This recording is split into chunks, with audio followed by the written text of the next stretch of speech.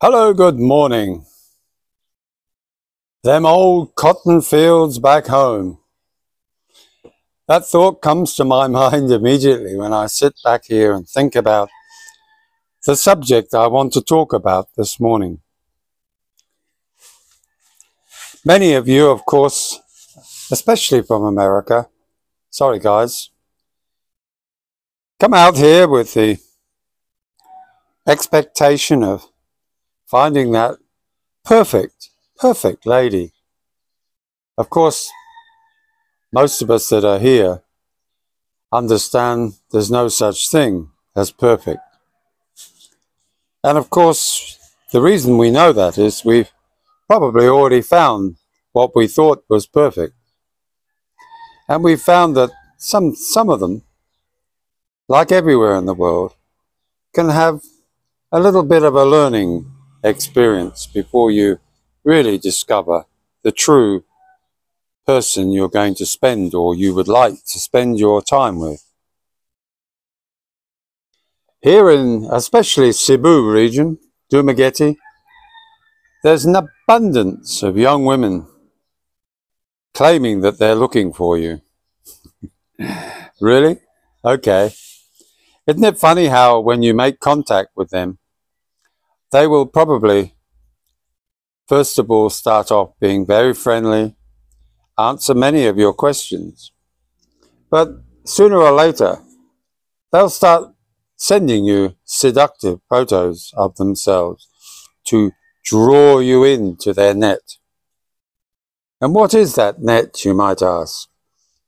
Surprisingly, do you have Gcash? First answer, or first indica indication of what you're looking at. You're looking at a very sophisticated Filipina. It doesn't matter what kind of schooling she has. She will have that ability from a very young age. She's maybe learnt it from her sister, her elder sister, maybe even her younger one, cousins maybe. That if you chat to foreigners, it's likely they'll send you money Really? Are we that stupid? Yes, I'm afraid some of us are. And some of us will get themselves into trouble doing it. Trouble, I say, well, once you start sending money, you really think it's going to stop? They're on a good wicket here. But, of course, not all women who are looking for a relationship, whether with a foreigner or a local, is actually after your money. Many are a bit more astute and decide that that's maybe, maybe not the best page to show at the start. They will show the loyalty, the religious side maybe. Maybe they'll be caring and doting upon you. But of course, like everything, like a honeymoon, it doesn't always last forever. I certainly would never change what I've found here in the Philippines.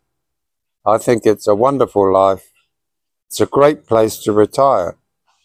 But it is buyer beware, no matter where you are, whether you're in the city, whether you're in what they claim the provinces. Who said the provinces? The provinces is the country outside of the city. You can live 20k out of a city, but you're still in a province. All cities are in provinces anyway. The province of La Union, the province of Ilocos Norte, the province of, you know, you name it. It's all there. So, before you burst your bubble with your fantasies about life with your absolutely exquisite, beautiful, gorgeous Filipina. Just remember, there is a sell-by date. It's just how long it will be before she asks for a refund. I say that tongue in cheek because nothing necessarily lasts forever anywhere in the world, and no more so than in the Philippines. They know their market. They know exactly what they're doing. Do you really think they want to spend their whole life with a 70 plus, 60 plus, even a 50 plus person when they're young and youthful, beautiful bodies, exquisite skin, lovely black hair, deep, luscious eyes? Don't you think they want a Filipina for that? Sure, they want you to die quick enough so they can have the best start in life. Because after all, once they have a home, imagine all the Filipino men who maybe have a good job but could never afford to have a home, are rushing to her doorstep to replace you in the bed. That's a reality. Now, if you're happy with that, you want to be somebody's sugar daddy for a period of time and consider that life is as you planned it, life is going to be wonderful, then sadly, I think you, many of you are going to be disappointed. Because the reality is, you don't even need to be Filipina or foreigner to experience it. Look at all the men around that haven't wives, haven't got wives. Hang on a second. Oi! Get inside! Go on! Oops. Now that's real life. the little Shih Tzu was being a little Shih Tzu, trying to get under the railing on the upstairs veranda. And I was worried that he, Mr. Mischief, was going to fall. So he's gone back with his tail between his legs. But back to what I'm saying is that we can all have a dream. We can all imagine. But it's better to have some reality to our dream. Be prepared. Be, be on the, the careful shelf, so to speak. Be aware that you do have a sell by date. Not everybody will care for you and nurture you till you actually die. That takes a special kind of woman. Yes, they are here. And yes, you will find them. And some, some will go through a lot of the stages that we've talked about. But if you're determined and you have that connection between you and her, you will weather those storms. Who has gone through a marriage, a relationship, whatever you want to call it, and not had ups and downs and thought, whoa, this is the end? And only to discover it, it has helped to bond you closer. It has helped to cement a lifelong relationship. It's not meant by doing this video to cast this doom and gloom upon everybody who plans to come here. But it's to try and make you realize that whilst there are the guys out there that brag about how many thousands of pesos they make every month, or should I say, they bring with them each month. You know, you get people who say they have a budget of 350,000 pesos a month. How stupid is that? Do they really think that? Well, actually, they probably do. They probably waste that much because they are stupid. They're knuckleheads. Knuckleheads. Why would you need that much money? Just ask your average Filipina in your neighborhood how much their budget is every month. And you may well be surprised 10, 15, maybe 20,000 for the whole family. And they're healthy, they're happy, they are uh, what one might call contented. But would you want to live like that? Why not?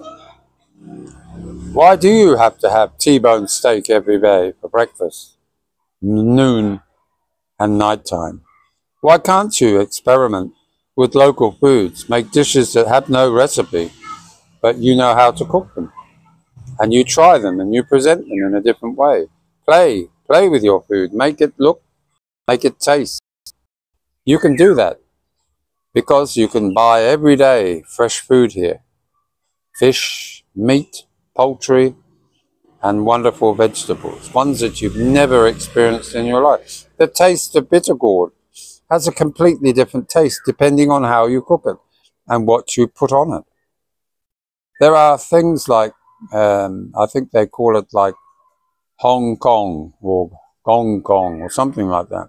To me, I just call that weeds. but it's okay. There's nothing wrong with it. It's in, you can make a soup, you can add it to your vegetable, stir fry. You, everything here you can do. So guys, put the sex side apart. Use your head first. Sex, great. It's great to have it. And as long as you can do it, no problem. But there's other things you can do, as you well know if you're older. And it's about being loving, caring, considerate, always being considerate, and trying to push the envelope every day to experience something new. Forget about putting notches on your belt. The guys that come here and do that are deadheads. And you only have to look at a lot of the videos. And that's what they all comment on. It's ridiculous. And the, the young Filipino women, that's all they talk about. The size of your, what's it? You know, how many times a day? Is it deep? Is it not? You know, who, who cares? But if it turns you on, maybe that's what you're doing. It's like soft porn. But guys, just get a real reality check. Don't kid yourself that everything will be honky-dory here. It may well fail many times over, but one hopes that if you have the stamina, the determination, the willingness to try again, you will succeed in the end. And if you don't, you would have had all these ones along the road and you would have died with a smile on your face. So you guys, plan that smile on your face and have a great day. Don't forget to subscribe. Come on, guys. You can subscribe. It doesn't cost you anything. I don't care if you want to call yourself Jimmy Nuts or Dickhead, whatever. That's okay. As long as you keep your comments respectful. Don't forget to press the notification button and we'll catch you later. Bye now.